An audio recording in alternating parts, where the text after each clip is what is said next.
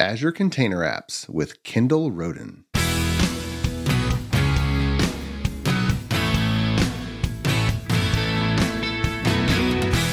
The Azure DevOps Podcast is a show for developers and DevOps professionals shipping software using Microsoft technologies. Each show brings you hard hitting interviews with industry experts, innovating better methods, and sharing success stories. Listen on to learn how to increase quality, ship quickly, and operate well. And now, your host, Jeffrey Palermo.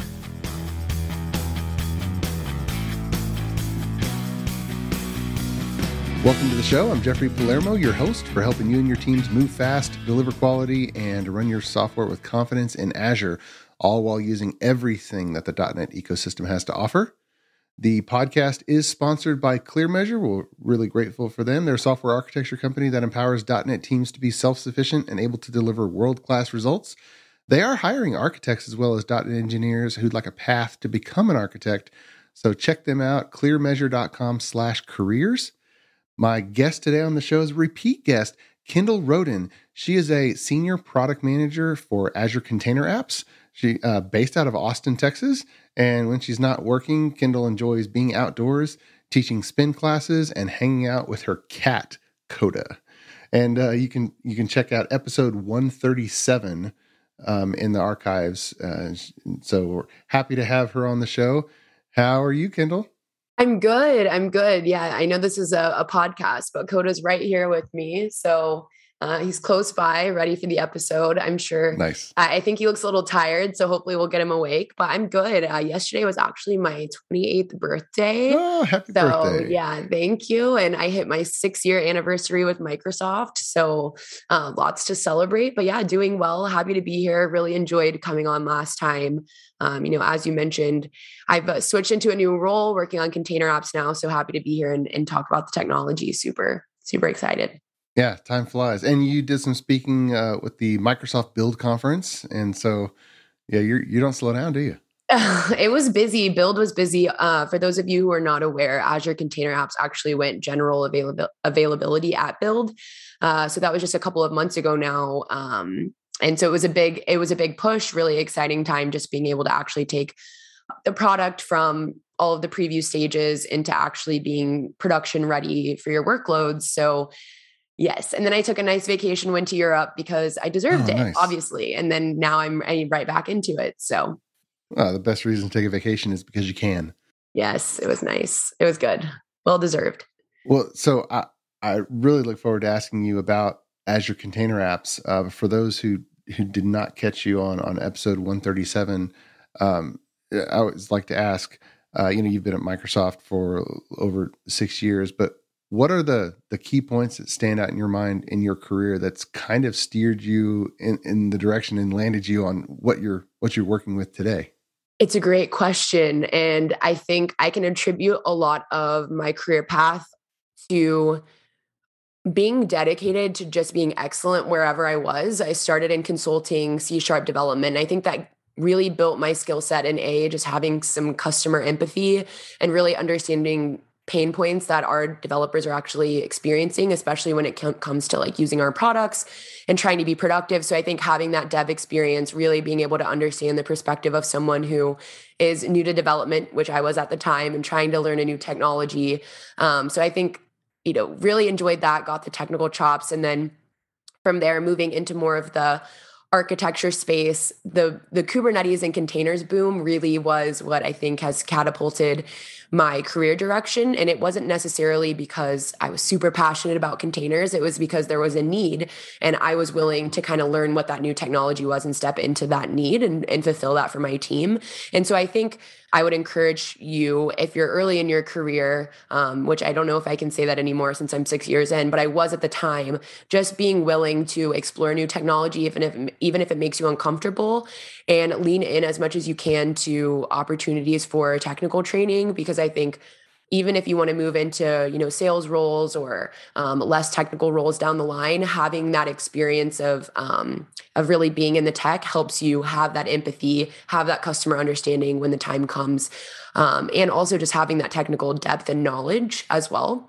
So when kubernetes blew up when containers blew up and they had a need uh, it sort of put me on this path toward architecture, which is when I came onto the podcast last time as a GBB. It was really how do we do cloud native architecture in Azure? And I, I think what made a big difference was when I hit five years, which would have been a year ago, I started thinking about what were the parts of my job that I enjoyed the most. And I realized it was opportunities to connect directly with customers, opportunities to have impact on the, the ways that we make developers' lives better, the way that we build product with customers in mind.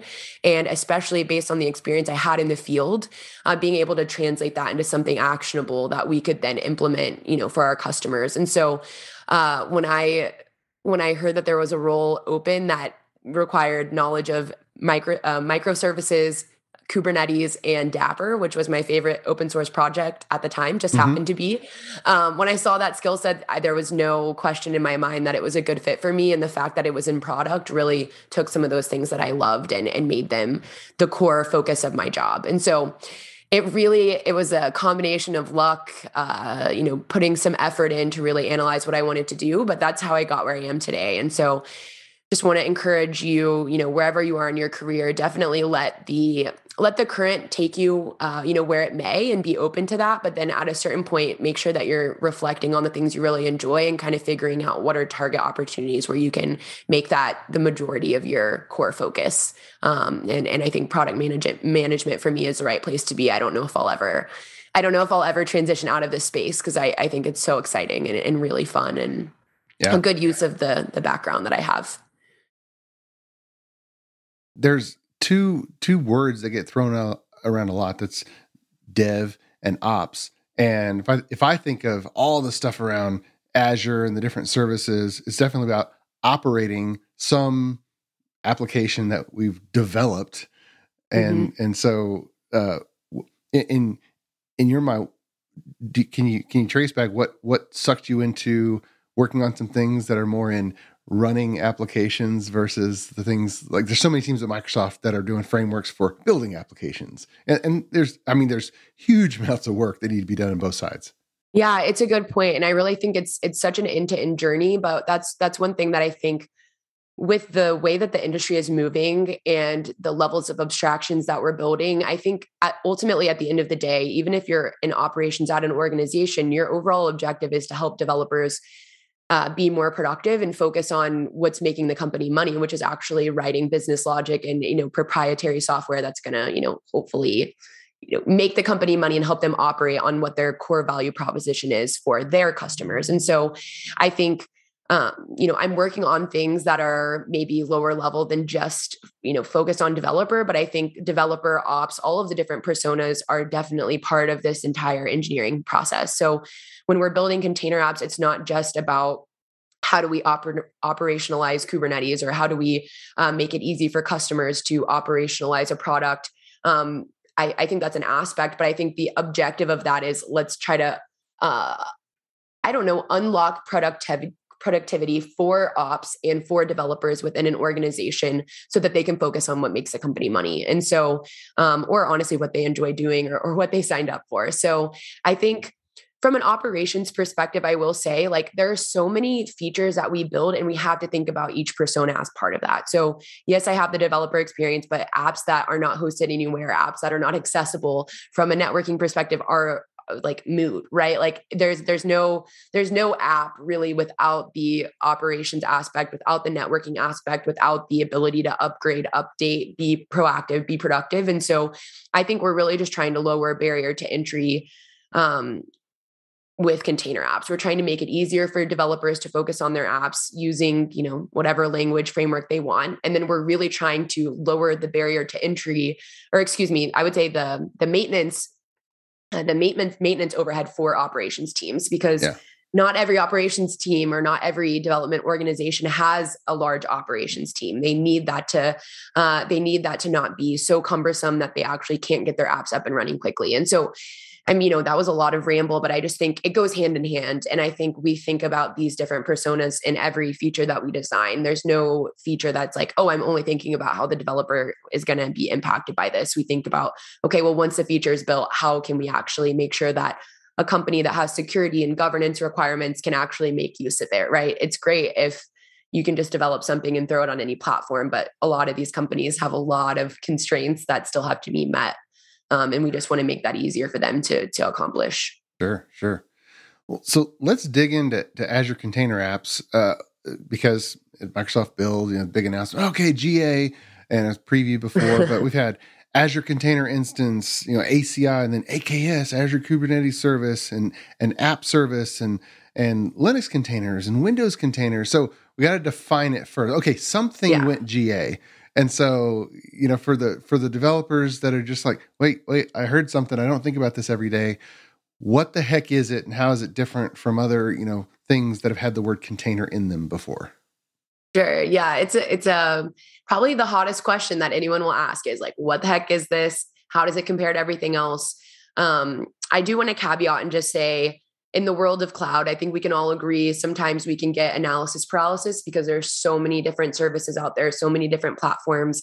So trying to target the right one for us can be challenging. But at the same time, that flexibility is what's nice about the cloud, right? As you have a suite and an array of things that you can choose from, and there's going to be trade offs with all of them, right? Like no matter what platform you go with, there's going to be things that another platform may or may not have that you need. And so you're always, it's always going to be an evaluation. So I don't want to come on here and say blanket, like container apps is here to like be the only, you know, container hosting platform. Right, you know, right. that was not our objective. It's really to fit in line with some of these other services, meet gaps where we see them in terms of um, getting containers up and running on Azure. Um, and hopefully, the plethora of options that are available will help customers who have specific needs find the, the right solution, and customers who have more, um, you know, broad needs. Uh, maybe have a couple of options right whatever might be you know best for them so I'll, I'll, kind of start with how how I think of where container apps fits into this spectrum, and I'll try to be as concise as possible. But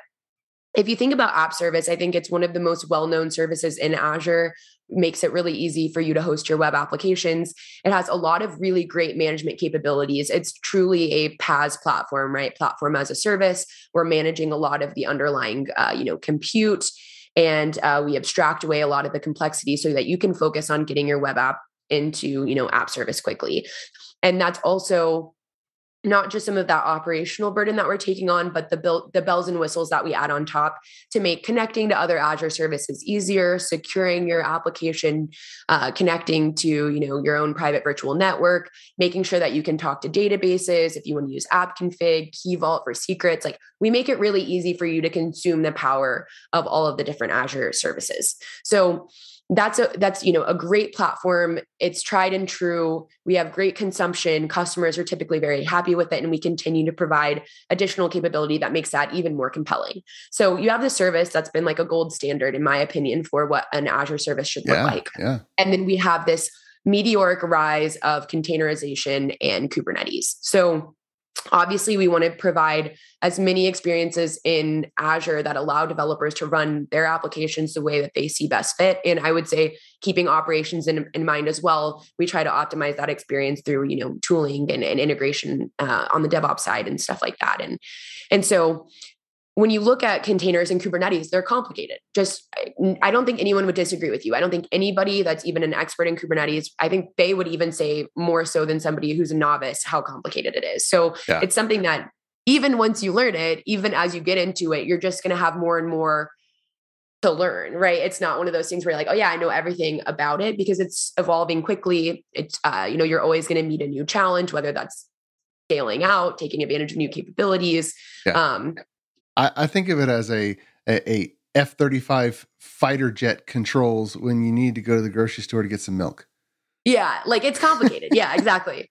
So so containers kubernetes and there's valid reasons like especially from an ops perspective to go with containers and like i think i've used this before but as a you know i started out as a developer straight out of college and i remember we would have some releases that everything looked good in one environment, not so good in another one because we were missing some of the dependencies from the Excel spreadsheet, right? Like the appropriate things didn't get loaded onto the virtual machine. Therefore, the app wasn't running the way we expected.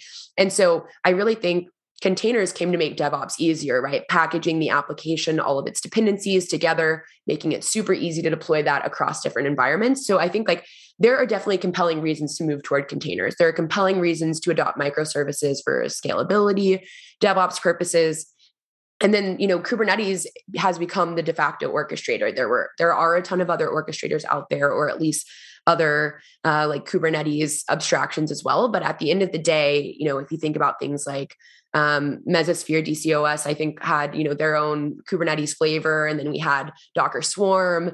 All of these orchestration kind of platforms which made managing these really valuable uh, technologies like containers at scale, you know, makes managing managing those and running them at scale easier.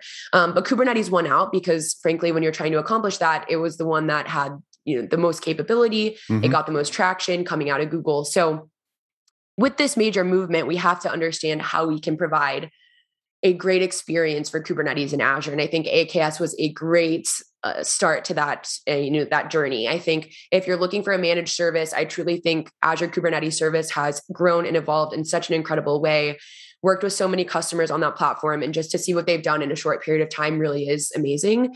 And they've made it a lot easier to consume and use kubernetes without taking away the benefits of the upstream um, capabilities. So a lot of what you can do in upstream it's being translated very quickly into aks and you get a lot of feature parity which is amazing.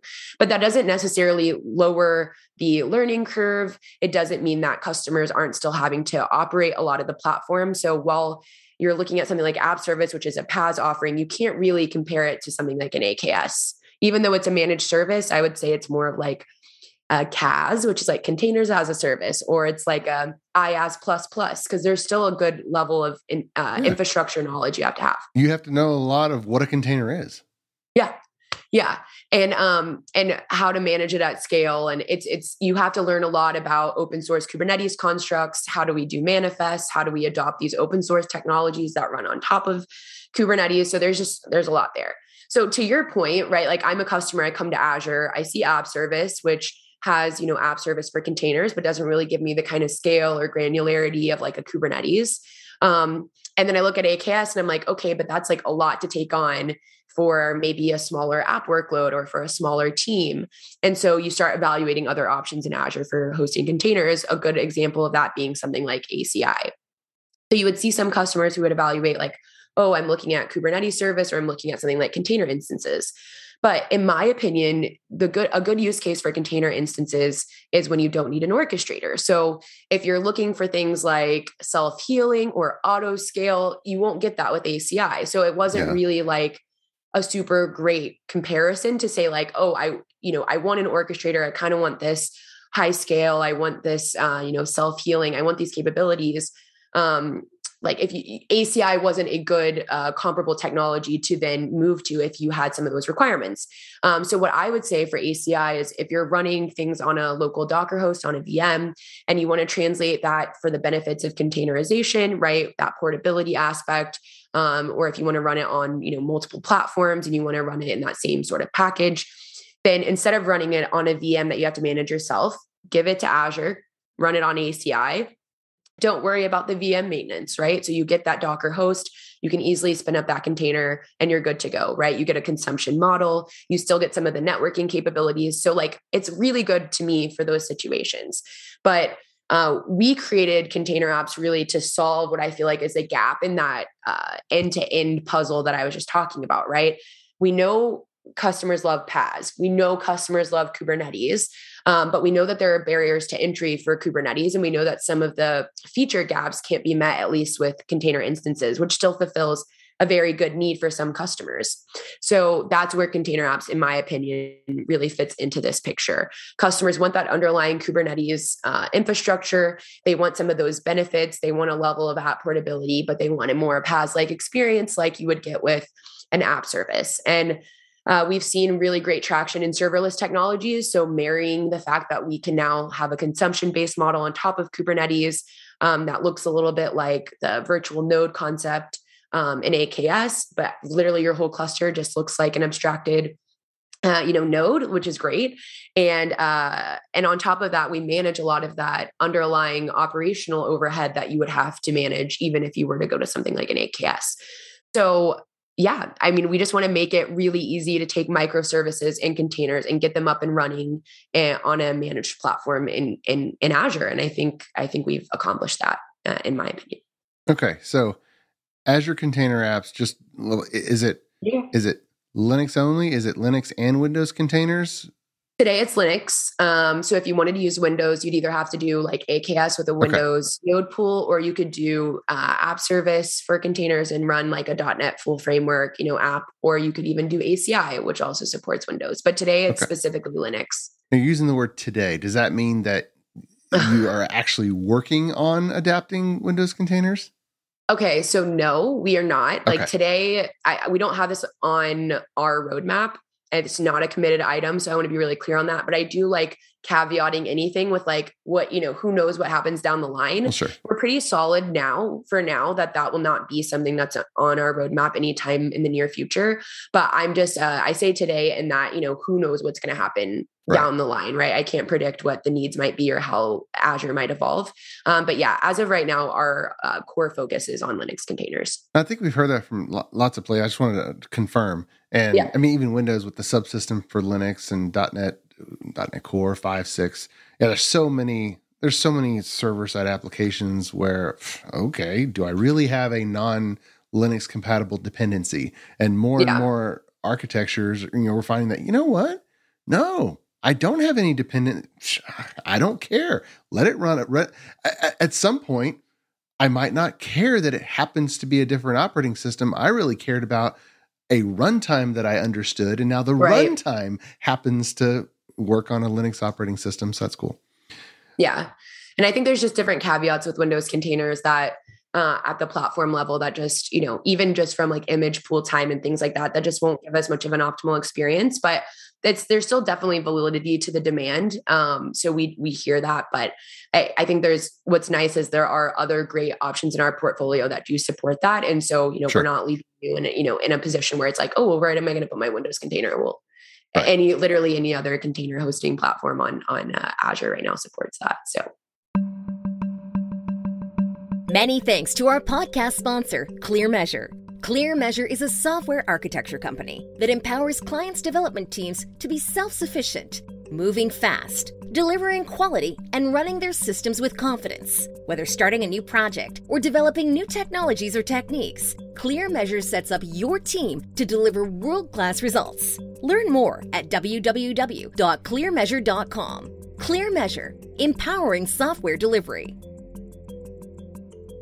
Well, let me ask you about um, dependencies. So Azure Container Apps came about because there was some, you know, some lacking, some gaps in the other offerings. That uh, with with App Service, one of the one of the canonical examples. Oh, do I choose a, a VM or do I go to App Service? Was well, if you absolutely have a dependency that App Service can't support, okay, then you have to use a VM. But if you don't have any of those, oh, just use it on an App Service. Like for instance, if you were doing special barcode fonts that's one of the things where oh you you can't install custom fonts on an app service instance and so yeah. you couldn't use app service. But now with with container apps how how does that dependency do you have more control in, in in container apps than you did in app service or does that is that limitation still the same? So i'm not aware of the list of like dependencies that you mentioned for app service like i don't have a you know that list available. But what i would say in terms of like are we really prescriptive about what you can run in container apps? If you can run it in a linux based container um it and on a docker host then hypothetically it should be able to run in container apps. Um, there are a couple of caveats things like if you need privileged containers we don't support running containers as root basically. Um, or like with privilege escalation things like that um, we, like I said, we don't support Windows containers, but within the Linux paradigm, we don't like dictate a particular base image. It's not like you have to, it's not like a, you know, we have an opinionated runtime like Azure Functions. So, um, you know, outside of maybe some workload types that we don't have the full feature set that I think would make running those optimal. Like, for example, we don't expose uh, like disk mounts today. Like, you can't mount a disk to your container app. So if you really needed like to mount a disk for like hardcore processing or like maybe some machine learning workloads, um, like that would be a good case where like maybe you would still want to run that in AKS. Um, or Does that you know, include Azure files, like from from an Azure storage account, mounting it as a drive? So you can mount and you can mount Azure files, okay. but you can't mount disk. So it's mm. it's more just like there's going to be little caveats like that in terms of like what's exposed in container apps, what may or may not be exposed down the line. And so, um, yeah, so I, I would say it's really less about the workload itself and more just like what are some of the maybe dependencies that you have end to end and could container ops provide you that capability um, and if not maybe that would you know you would have to to mitigate by going to aks instead of container ops um, so yeah i can't think of any other like i know that the privileged escalation i know the windows containers um, you know maybe something like disk or uh, but I can't think of any like specific workload constraints that I uh, off the top of my head that I'm like, oh yeah, we can't support like that kind of Linux container. Like there, there's okay. there's one, you know, nice. know, none that I'm aware of. Nice. But. So, um, I'm I'm always thinking of the rules of thumb guidance, and there is, and of course, there's always going to be exceptions, but there's a lot of applications that have an architecture where it maybe it uses you know, SQL database or, or Cosmos or some other data store in Azure that that have that have gone cloud native. This okay, everything's going to be in Azure, and we're using one of the Azure data storage services. And I have I have a, a backend process that's doing something, and then I have maybe some web pages, some web services, and it's running and it's running an app service. Um, and my dependencies are either Azure queues or SignalR service or calling somebody else's web service for and there's massive amounts of, of applications that are kind of built of those piece parts. Is this something in your opinion that is likely to become the new normal hosting model? Whereas you know azure azure app service has is is a massive is a massive service. It hosts so many applications. You know it's it's almost like the normal, you know, quote unquote normal. Oh, you might have other stuff, but you always have an app service. So yeah, if you're asking if I think that container ops will kind of become like a de facto standard for some customers or as a like a staple service in Azure, I definitely do, right? I'm a little bit biased because that's my job, right? I, this is this is a service that I really believe in, but yes, I can imagine um, a future where container ops is a um, like a first like truly like a, a uh, I wouldn't say first class citizen in Azure because it already is, but where I see it being a like a household service, for example, where we see a lot more customers that are gravitating toward container ops. Um, you know, and I, I didn't really even just like explain the service at a high level. I talked a little bit about it, but I mean, for anyone who's just completely like, okay, you told us where it fits in, but what exactly is it? It's like, it's um it's a platform as a service model that makes it easy for you to take your containers and run them on top of a consumption based, like serverless containers you know platform. That's basically what it is. And we provide a lot of you know bells and whistles on top of that to connect to other azure services and we'll see more and more of that. And i think we'll see uh, we've seen a trend in azure. You'll even see some of the build announcements where we are making our services a lot more like event driven and making it really kind of fit into that event driven architecture where you can easily hook up to other uh, services within azure. You can do more event driven processing and applications that you know scale based on on events in a queue or in a topic. And so we've like really baked that into how we built container apps which is why we have native scale to zero. We've actually taken the Kubernetes event driven autoscaler project, which is called KEDA for short. Um, you can run that on top of AKS or any other Kubernetes uh, like distribution or service. But um, we've taken that and like built it directly into our service. So that means now you get event driven auto scale for like hey i want to scale based on a queue a kafka stream i can scale based on you know a, a wide array of different scale triggers not just like h uh, not just um HTTP requests or CPU and memory, right? So we're really like baking that concept of like we are going to have other services running and like we're going to have data in this, you know, in this pipeline and we want our apps to be really responsive to that. And we want them to scale alongside of these this more distributed event driven architecture style, you know, uh, right actions that are taking place and and we also built in Dapr um, on the platform and make it really easy for you to consume so if you're unfamiliar with that it's the distributed application runtime um, also an open source project which can run on kubernetes.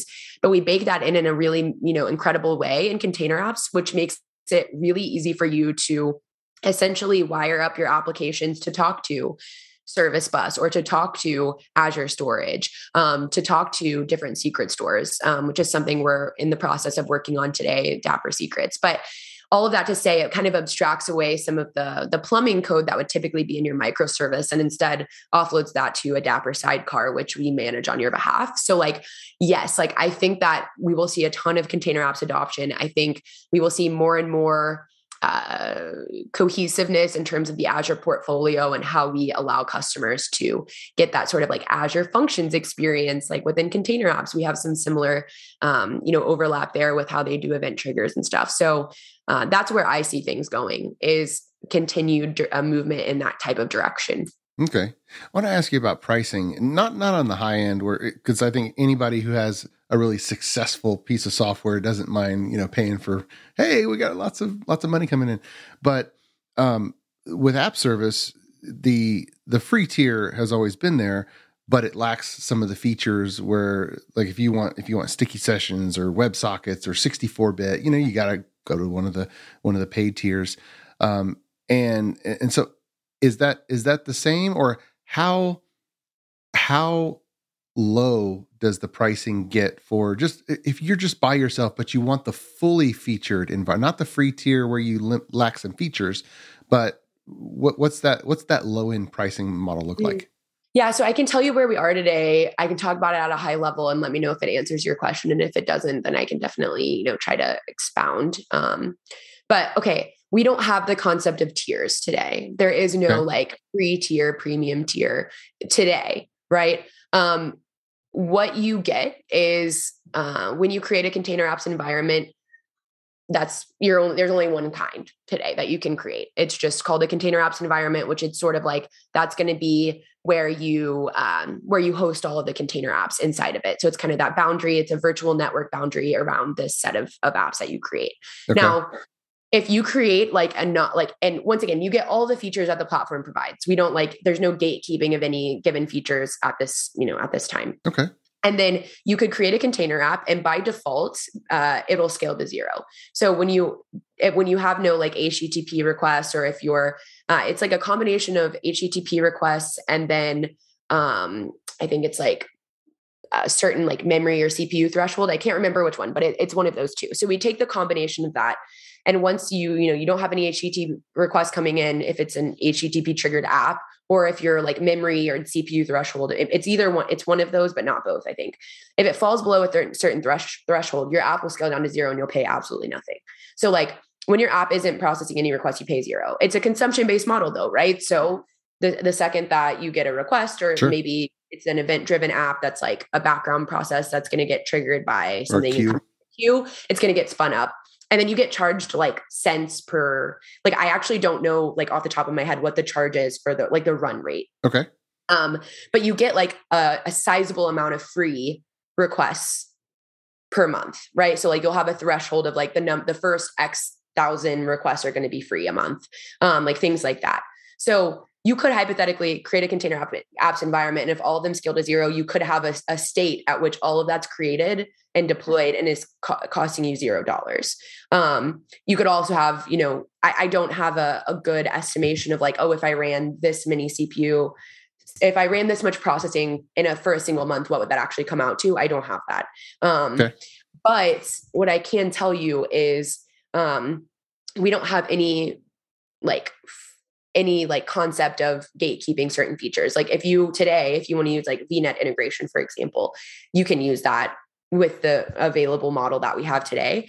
Um, and the only like added cost would be things like, oh, well, you know, when you do integration, you're going to have like a load balancer that gets created. So like you'll have the charge of the load balancer um, for the, you know, private environment in your um, subscription. So like that'll be additional costs, but like th- those capabilities and features don't, don't cost you anything. okay. Um, okay. Uh, you said so many so many thousand HTTP requests. Uh, is the spirit of it that a good number of developers should be able to build something before incurring before incurring the runtime costs? Well, I mean, so yeah, well, when you're building and deploying, I mean, obviously you're going to do some iterative testing. Uh-huh. So like you'll have some run rate as that. But yeah, I would say that for smaller workloads, like it's going to be a fairly uh, small cost, right? Like we're de- we're definitely trying to be. It's very competitive with other cloud providers that have similar capabilities like Cloud Run or some of these other things that you'll see in other cloud providers. Um, so it's going to be very competitive for serverless containers in terms of like looking at like industry wide solution offerings. But let me see what the actual so. Oh, and I can also talk a little bit about idle usage, which I think is is a good thing. So um, if we look at like vCPU, uh, the active usage price is 0.00024 per second.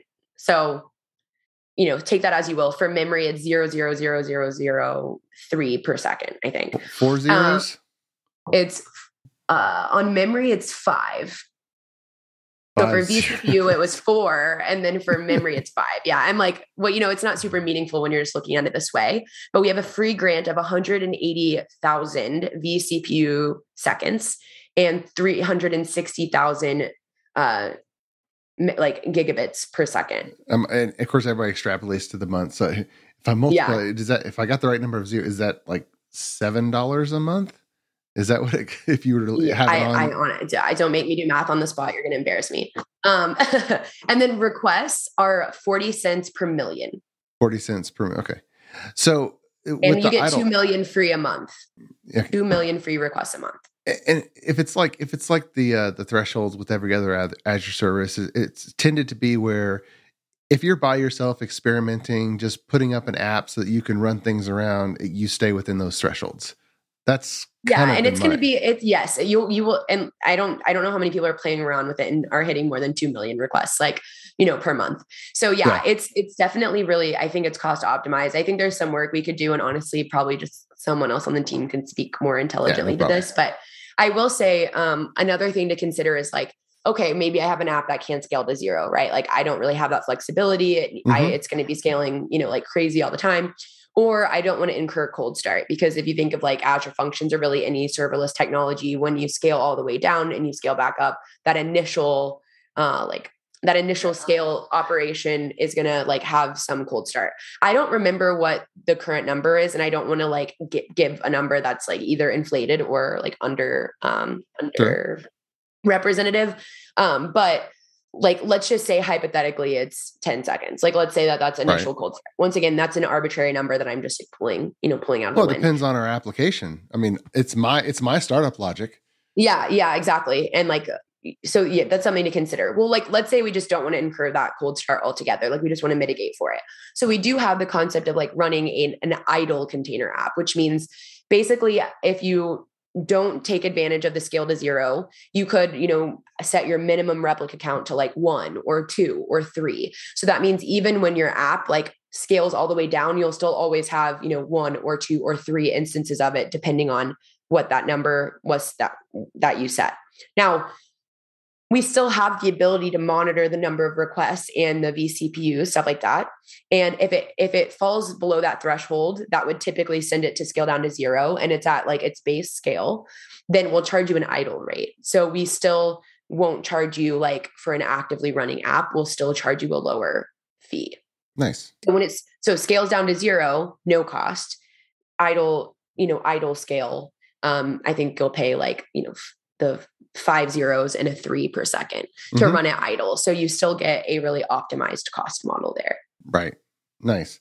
It sounds like it sounds like it, it's it'll be more affordable for so many apps just because with app service you pick your instance size and you you tend to pick your instance size based on what you think you're going to need when people start yeah. using it and then you add more instances as you scale right. but very i mean there are some people that do it but it's just a hassle to go back and say oh wait okay in the middle of the night let me scale down to a really tiny instance size and then try to predict oh what time in the morning do we need right. to change the instance exactly. because with in, with adding an instance in app service there's no downtime but when you change the size of your instances yeah i mean it, it's it's small but i mean you're you're kind of restarting and re provisioning everything yeah and when you look at like something like an aks like you're you know pre-allocating you know a set amount of compute you know and nodes and things like that. Um, but i will say like one of the things that's challenging is like the consumption pricing model does require some level of knowledge about like your like your expected load because yeah. like it is hard. Like it's hard for me to be like oh your app's going to cost you x amount of like a month. Like you know that that is hard and it does put some of that responsibility on the customer to really understand like what their workload is. Um, and that's not to say that this will only be the this is the only pricing model that we'll ever have, right? Like I don't want to set that precedence here. I'm just kind of giving information about what's there today. Um, right. But I do recognize, you know, it's going to require some customers to like run some load tests or to evaluate, hey, in a given month, this is how many requests we typically see. This is how much CPU and memory we typically consume. Therefore, how could I, yeah. you know, cost optimize and take a look at what that would cost me in container apps? Well, it's architectural choices. If I if I have pre-provisioned uh, server capacity, then what what what bad thing could happen if I get unexpected load? well my my application crashes because i've used up all server resources whereas yeah. if i leave an elastic service with no cap uh, okay it stays up but i get a surprise bill so yeah. it's kind of a choice of if this were to happen, what bad thing were to right, happen? Would right, you like, like the whole thing what's, to crash? What's, what's worse? yeah. yeah. The whole yeah, thing like to what's crash worse, like bill. support support the scale that you need or or you're uh or you're paying for the kind of scale you actually need. Yeah, that's fair. Yeah. Well, awesome. As we uh kind of get to our time and, and wrap up here. This is a, a huge topic, exciting topic for me, and I think a lot of other people. Um, it, it, for those who really want to dig in, um, what what kind of resources are available now? I mean, there's there's docs are amazing, but are there like end to end sample apps where people can kind of grab an application and it has the scripts and they can just install? Uh, what, what's available now that people can take advantage of that we can point them to? Yeah. So, depending on what you're interested in looking at, I would recommend at least starting out with the Azure Architecture Center. We have two great samples. Um, both, I think, really showcase the value of the product, especially when it comes to like being a microservices hosting, you know, platform. So they're microservice based applications. We have um, one application that uses Dapr and one that doesn't. So I think it kind of helps you understand the differences and how you can leverage Dapr if you're interested in that open source technology and how we've brought that into the fold, or if you're just like, hey, I just want to see how it would work with like a uh, an app that doesn't make use of Dapr and doesn't use some of that programming model. So uh, those are both on the Azure Architecture Center, and uh, obviously the samples are up on GitHub. So that has all of the like, hey, I can just literally run this script or run a few commands and get something really elaborate up and running quickly. And then we also we have the docs um, page, but at the bottom of the docs page, uh, Brady Gaster, one of uh, my coworkers, helped a lot with some samples, and so we actually have a samples page that links out to other samples that are like ready to run. And then I will say, like, I love getting feedback from all of you on ways that we can optimize the kind of material we're putting out there. So I know I have a couple of samples I'm going to be uploading this week um, and that we want to link there. But I, I, also want to start consolidating some of the samples that have been uh, contributed by the community that might not be super discoverable today because um, they're out there. They're just not necessarily all um, consolidated into one place. So right that's an item I, I also have. But we, I will say, someone in the community also put together like a really good YouTube channel that, or not YouTube channel, but YouTube um, playlist that has like 90 or so different video recordings that we've done at build that we've done i know i've done a lot of talks and podcasts and things like that and, and some of my colleagues have as well. So if you're looking to ramp up if you want more of a baseline if you want to talk more about some of the advanced capabilities i know we didn't uh, cover all of that today but there's definitely a lot out there for you to continue exploring. Okay we'll make sure to get those links and include all of those in the show notes for sure. Also, yeah, and also please uh, like join us on Discord. We have a great Discord channel where all of the engineers and all of the product managers interact directly with all of you. So it's a really good way to get your questions addressed, to work nice. with others in the community. Um, we also have a public uh, GitHub where we take all of like feature requests, issues that we, you know, try to be as responsive as we can be on that. So definitely share your feature ideas um, share any issues that you're facing, and we'd love to help you walk through those um, and be successful on the platform. Awesome. Awesome. Well, Kendall, that is a lot of information. I appreciate you yes. coming back on the show and, and sharing the, what's what's the latest with Azure Container Apps. Thanks so much. Thanks for having me. Oh, my pleasure. And until next time, keep shipping. You've been listening to the Azure DevOps Podcast, a show for developers and DevOps professionals shipping software using Microsoft technologies. Go to www.azuredevops.show for show notes and other episodes. On behalf of your host, Jeffrey Palermo, and our sponsors, thanks for listening, and may God bless you.